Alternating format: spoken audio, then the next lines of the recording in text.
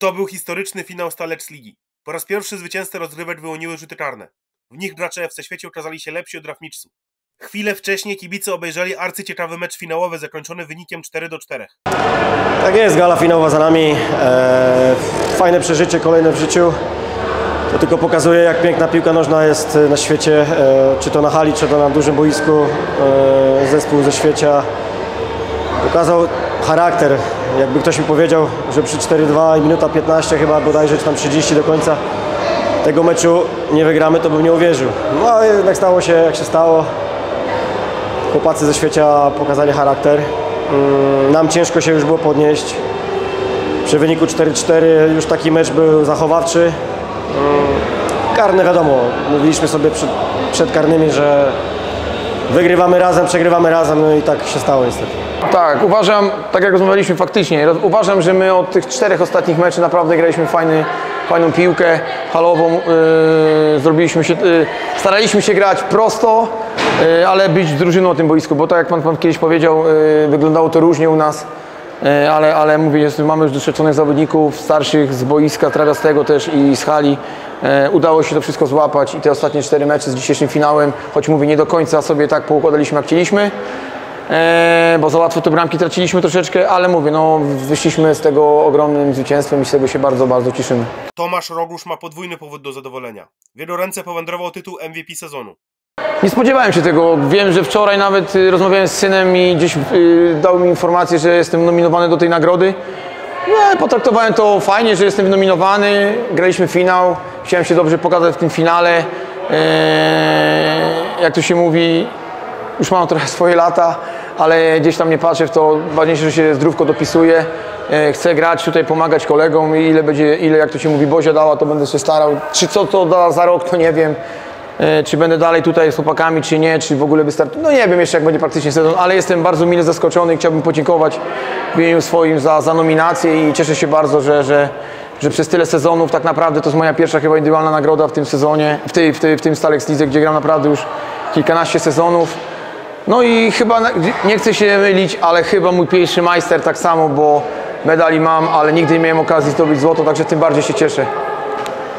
Zupełnie odmienne nastroje panują w drużynie Rafmiczu, która drugi rok z rzędu została wicemistrzem. I marzenia o szóstym tytule musi odłożyć przynajmniej na rok. Ciężko to na tą chwilę w ogóle do głowy sobie wbić. Eee, Na pewno jakieś niuanse decydowały o tych straconych bramkach. Stracone siły na pewno. Myślę, że ta pewność siebie jeszcze chyba nie. Za szybko trochę, gra się do końca, tak jak, tak jak mówiłem wcześniej. Analizę przyjdzie czas. Eee, Teraz, no co, no, kolejny sezon za nami. Eee, Zawodnicy myślę, że też zadowoleni z sezonu. Tak naprawdę jako zespół Raf Mixu w tym sezonie nie przegraliśmy meczu, bo i w sezonie zasadniczym i w playoffach wygrywaliśmy bądź remisowaliśmy. Teraz też remis i pokarnych. Myślę, że mamy mocny zespół. Jak chłopacy będą chcieli w przyszłym roku być może, może się zgłosimy, zobaczymy. Po brąz w tym sezonie sięgnęła ekipa GMD, która po kilku latach ponownie wystąpiła na gali finałowej. E, dokładnie, już e, raz byliśmy tutaj na gali finałowej, było fajnie. Dzisiaj udało się po raz e, drugi tutaj awansować. Niektórzy zawodnicy częściej tu już grali na, gala, na galach. No dzisiaj się udało wygrać szczęśliwie, chociaż przeciwnik bardzo ciężki, wymagający. W meczu o trzecie miejsce GMD pewnie pokonało Noe Transrolmasz. Ekipa z Przysierska jest bez wątpienia największą niespodzianką tegorocznej edycji.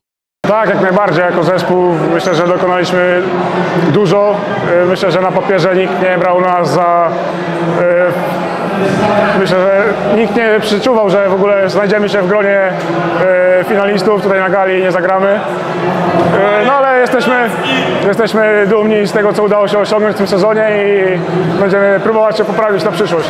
Jak co roku gala finałowa bogata była w atrakcje. Nie mogło zabraknąć liderek, a spore show swoim występem zrobiła Cleo. Oh,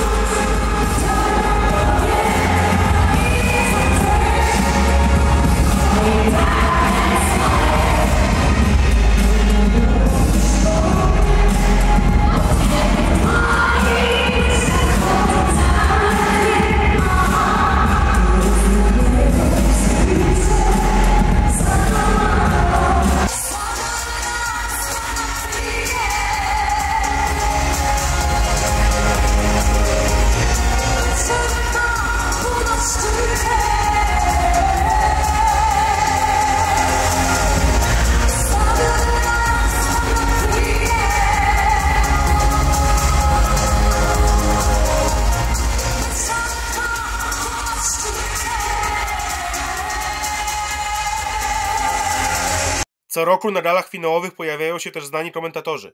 Tym razem do świecia przyjechał Jacek Laskowski. Wrażenia fantastyczne, bo ja zawsze lubię imprezy niezależnie od rangi, takie, które gromadzą ludzi, które sprawiają wszystkim przyjemność. Nie ma nic smutniejszego w sporcie niż e, puste trybuny, a e, wiemy dokładnie po covid jak, jak, to, jak to wyglądało i jak ciężko było nam ten sport w ogóle oglądać, a sportowcom go uprawiać.